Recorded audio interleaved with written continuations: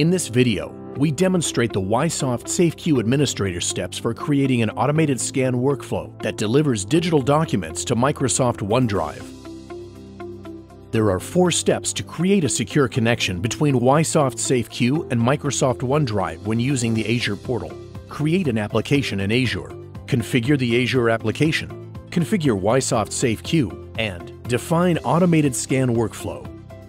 Please note, if you have already created a connection between YSoft SafeQ and Microsoft SharePoint Online, you can skip steps 1 to 3 as the settings needed from Azure and the digital certificates implementation are common for both. These steps are also described in the Configuring and Deployment of Office 365 application for SharePoint Online and OneDrive Business chapter of the YSoft SafeQ Administrative Guide. Before we start, there are three prerequisites needed.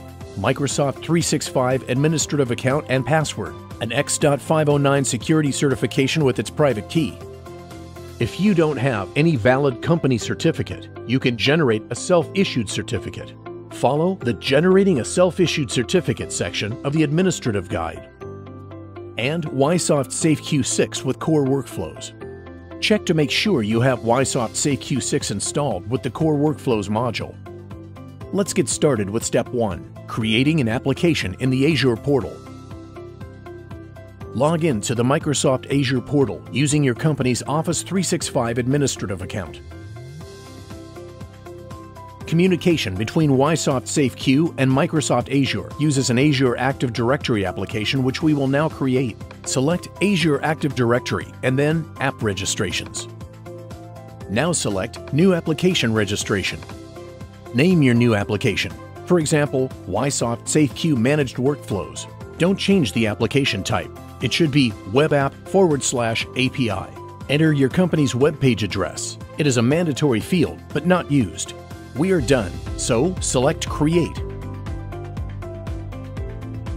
In step 2, we are going to configure the new Azure application. In case you already closed the application window, you can reopen it at any time. Use the menu Azure Active Directory app registrations and click on the View All Applications button. Find your application in the list and click on it. Now we are back at our application and can open the Settings window to configure. it. Click on the Settings icon. Because there might be different defaults in your Azure environment, we must first check one important value. In the Properties window, make sure Multi-Tenanted is set to No. If needed, change it to No and click on the Save button. The first permissions configuration is to set up the application's permissions.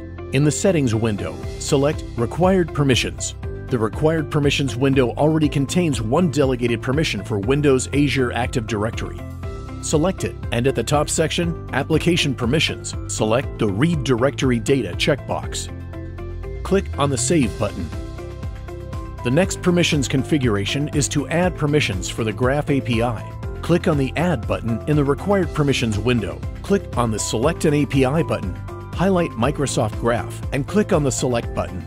In the Enable Access Microsoft Graph window in the top section, Application Permissions, select the checkbox at Read All Users' Full Profiles. Confirm this addition by clicking on the Select button and then click on the Done button. The last permissions configuration is to add permissions for the Office 365 SharePoint Online API. Click on the Add button in the Required Permissions window click on the Select an API button, highlight Office 365 SharePoint Online, and click on the Select button. The Enable Access Office 365 SharePoint Online window in the top section Application Permissions. Select the checkbox at the Read and Write Items in All Site Collections. Confirm the addition by clicking the Select button and then click on the Done button. In the Required Permissions window, click on the Grant Permissions button. When asked for confirmation, select Yes. We are now finished with permissions settings. Now we are going to upload the public key in our Azure Active Directory application. In the Settings window, select Keys. In the Keys window, click on the Upload Public Key button and browse the .cer file. Confirm upload by clicking on the Choose button and wait for a confirmation window. Then, click on the Save button. We now have what we need from the Azure portal. It is helpful to note the important values so we don't need to refer to the portal again copy and paste into Note or Notepad these values from the Properties window, the application ID,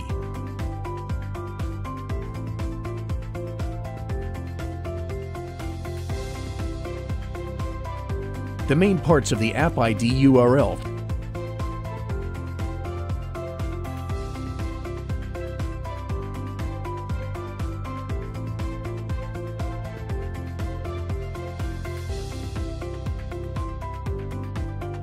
from the Keys window, the thumbprint,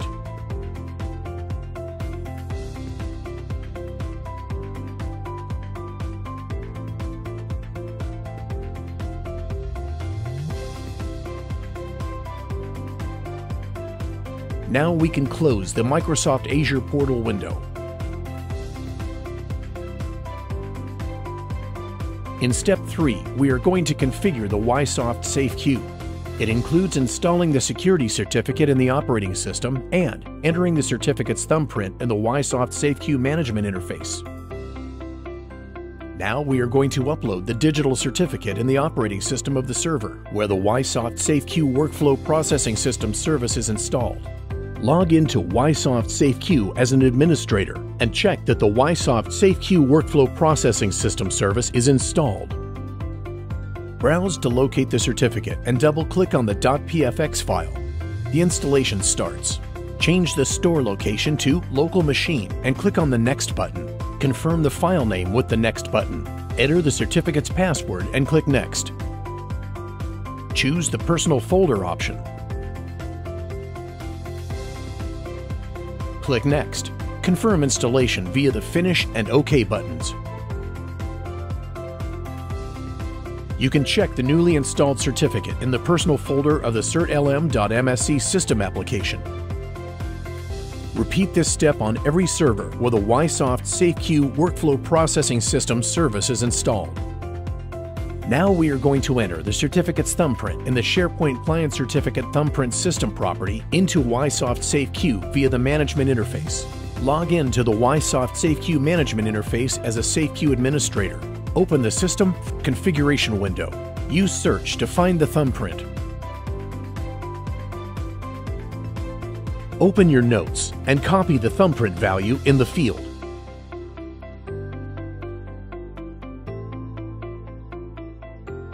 click on the Save Changes button. Confirm the new value by clicking on the Save Changes button. All of the configurations between Azure and SafeQ are completed, and we are now ready to create automated scan workflows connected to Microsoft OneDrive. As a demonstration, we are going to create one workflow for Microsoft OneDrive using John Doe as the person who will use the workflow. In the YSoft SafeQ management interface, go to the Scan Workflows Connectors menu and click on the Add Connector button. Assign a name and write a description. We'll call this one PDP Notes Connector. Choose Microsoft OneDrive for Business as the connector type. From your notes, copy the tenant name and client ID.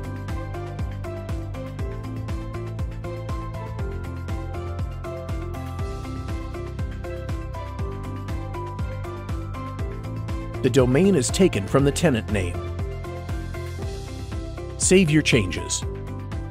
Return to the Scan Workflows Workflows menu and click on the Add Workflow button. Assign a name and enter a description.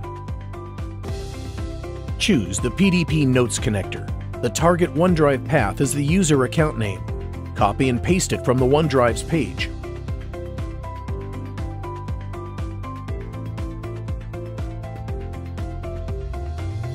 To be more flexible, we can replace the variable part of the username with a system variable. For instance, with the username, which has in our installation the name.surname format. The additional path can be seen on the OneDrive's page.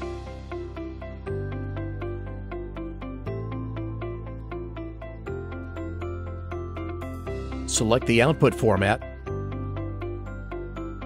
name of the scanned file, and assign the user access to this workflow. Save your changes. Scan workflows are automatically available at all multifunction devices. Only the workflows that a user has been granted access to will appear when the user authenticates. The OneDrive folder is currently empty. Let's test our scan workflow.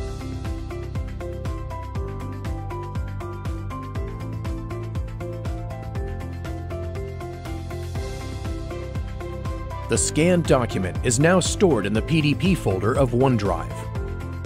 You have now learned how to obtain the Azure Cloud content needed for creating SafeQ workflows for Microsoft OneDrive and have learned how to create connectors and workflows in YSoft SafeQ. Thank you, and have a nice day.